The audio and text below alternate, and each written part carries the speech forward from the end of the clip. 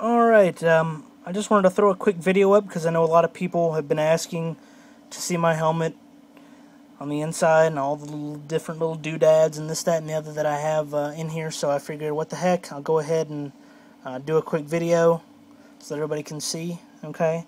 I know it's not uh, Tony Stark's Iron Man helmet, but it's pretty darn close. I think probably most Iron Man costumes don't have half of what I've got stuffed into this thing. Anyway, um, I'm just going to go and I'm going to try to keep from blocking the sunlight. let me turn my squeaky chair here. Okay. Um, this is the microphone that I use. It is powered off a little tiny button cell battery. I think it's like a 1.5 volt. Anyway, uh, it makes a big difference when you've got a powered mic running into your voice amp. It makes it louder. Um, so, and it also makes the chance for feedback a lot higher, so I have to dabble with the volume and all that happy stuff, but it works really well. Um, next, and, and, this is all on the right side at the cheek. Next, this is my selector switch for my fans. Um, I can go, and I'll, I'll go ahead and turn it on. You may or may not be able to hear it because the air conditioner is on in the background. That's high. And there you can see the fans are spinning and then we can go into low. And that's low. See they're still spinning but they're spinning a lot slower. That's probably half voltage which would be 3 volts. These are 6 volt fans and they run off a 9 volt. But for those hot days when we're outside we need that high. And then I can also turn them off right from the front. So it's pretty neat. Um, that's all within you know finger range there so I can get it with my glove now without having to take the helmet on and off. So that's what that is voice amp speaker. Uh, I don't know what wattage those are, but they're pretty darn loud. Most people who've heard them can tell you that they're fairly loud. Right here, this is Bluetooth. You can see it blinking in the back. It's synced with my iPhone. Um, I will try to do some sort of recording at some point. The only Bluetooth I have on a computer is on my tablet. Um, this is the battery box for my 9 volt battery and as you can see you open up the little door here and that little magnet keeps the door shut but there's a little Rayovac in there. And these doors they stay nice and shut they're fairly tight. And I put those in as a safety measure okay because if something were to happen and that battery were to explode in there or start to leak I don't want battery acid leaking down my face so I built these custom boxes to hold all the batteries, um, as well as, or hold all the major batteries, as well as hold the circuitry for my um, sound pickups. This is the my ear speaker that runs off of the Bluetooth and the pickup, which sits in here, the audio pickup. And let me turn that on. You guys will be able to hear that. You'll probably be able to hear it echo. These are the master switches that control the fans and the uh, right side audio pickup, okay? And I'm going to put the phone into the helmet so you guys can hear what it sounds like when the audio pickup is active. But of course, now you got to remember, it sounds a lot better when it's right there on your ear. Let me turn it on. There we go. I know that doesn't uh, it's hard to really tell a difference. But the big difference is when you have the helmet on, it's a huge difference. Huge difference. Okay? And all these are just wire trunks that run down that I had to build that uh, I basically just hot glued them to the inside of the helmet uh, for different switches, different things. Okay? I'm going to turn these off.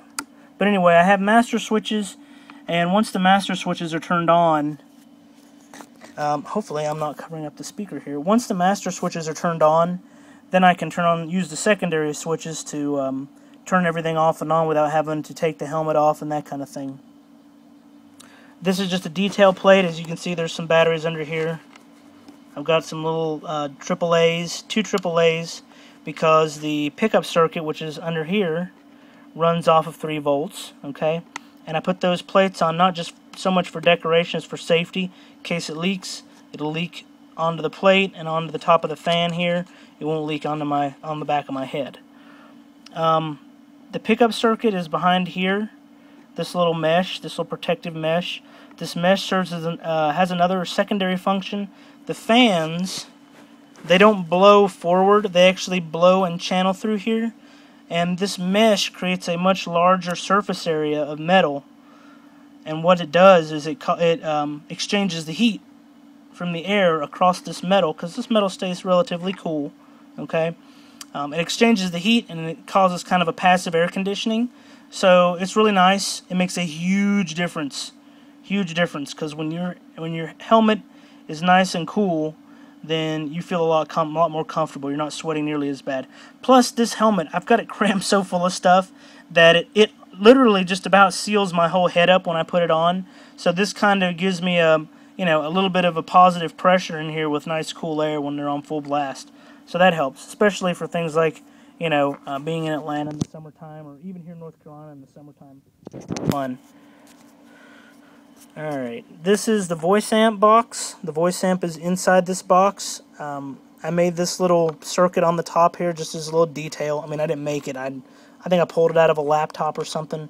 It's totally a little detail. It kind of looks like a little computer. I've had that for, I think I had that in my, well, no, I built this when I put the circuits in here originally before C6. So, and here's the other fan. I'm going to turn my squeaky chair here, so bear with me. Another fan. These are laptop fans, 6 volt fans.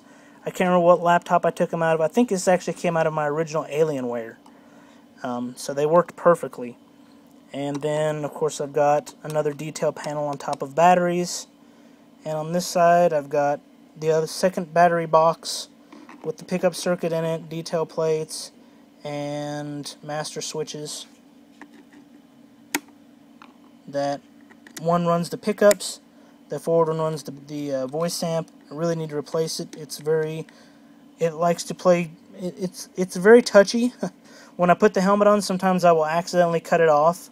So it can be touchy. Second battery door, I'll flip this open. You can see what it looks like in the bare compartment. It's pretty good size. Um, I thought about getting the little ribbon batteries and putting in here that are rechargeable, but eh, it's all good. I'll get some 9 volt rechargeables if I want. And then right here, let me see if I can position, here we are. We have the second half of the Bluetooth, the left side, and that's basically a channel selector. You can see a key here, and there's a key right up, right here. Yeah, there we go. One's previous and one's next, in case I want to listen to music over the Bluetooth. Yes, I can do that. It's pretty awesome. And then there's the other um, speaker for the voice amp.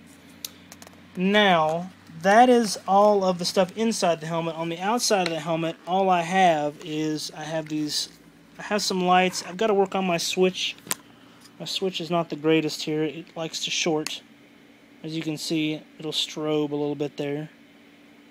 And it'll decide to come on in a minute. But, uh, anyway, uh, I think the switch is actually a little bit too big. I'm going to have to put a smaller switch in.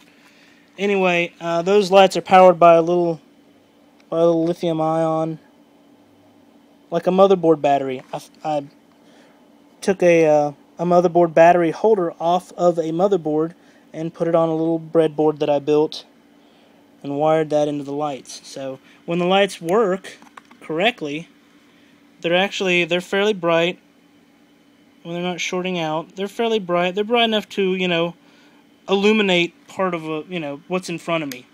Uh, with the visor down though, it doesn't really help all that much because the visor is double the darkness. I could probably weld with this thing on. Anyway, so uh, that's been about 10 minutes of, uh, of fun with the helmet, and hopefully everybody now understands what's around my head when I've got the thing on. So uh, thanks, and have a good day.